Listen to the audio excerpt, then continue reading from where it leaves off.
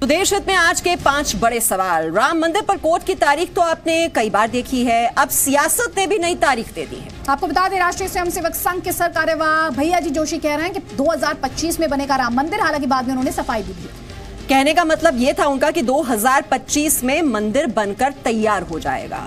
देश हित में लेकिन सवाल ये है कि श्री राम के भक्तों को ये इतना कंफ्यूज क्यों किया जा रहा है? दूसरी खबर गुजरात और झारखंड के बाद अब यूपी में भी देश का सबसे बड़ा सूबा केंद्र के 10 फ़ीसदी आर्थिक आरक्षण को मंजूरी मिल गई।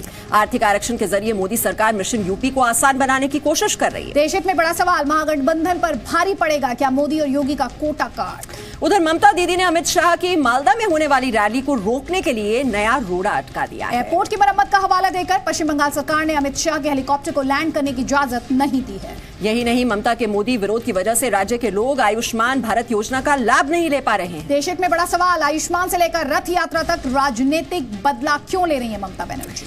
कश्मीर में आतंकियों को हीरो बनाने की कोशिश पर लगाम लगाने के लिए सरकार बड़ा फैसला ले सकती है। आतंकियों के शव अब उनके परिवार को नहीं सौंपे जाएँगे। ऐसे में ना तो आतंकवादियों के जनाजे निकलेंगे और न ही उनमें भीड़ लगेगी। लेकिन कुछ दलों ने अभी से इसे मजहबी रंग देना शुरू कर दिया है। देश हित में बड़ा सवाल आतंकियों के आखिरी हिसाब में क्या मिलेगी मजहबी मदद? आज देश हित में आपको सावधान करने वाली खबर भी हम देंगे। भारत समेत दुनिया के 77 करोड़ ईमेल आईडी हैक हो गए। क्या आप अपने मोबाइल ऐप को हाँ में जवाब देने की गलती करते हैं? अपने अकाउंट को हैक प्रूफ बनाने के लिए क्या करना है ये जानकारी आज हम आपको देश हित में देंगे।